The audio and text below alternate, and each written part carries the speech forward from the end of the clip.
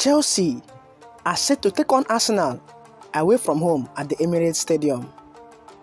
And with Mauricio Pochettino's announcement as the head coach close, the players trained ahead of the Arsenal clash.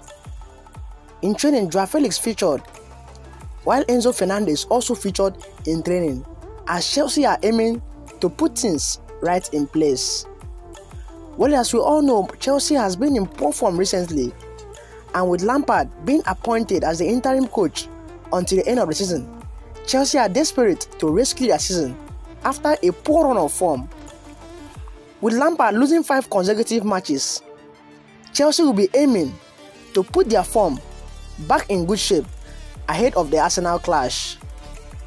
In other news, Eghbali, one of the Chelsea co-owners, was asked about Mauricio Pochettino's deal, and he, his answer was positive.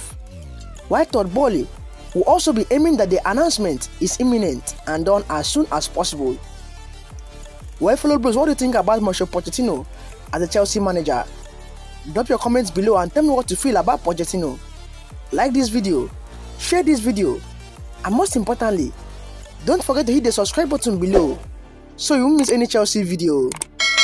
See you in my next Chelsea updates. Bye.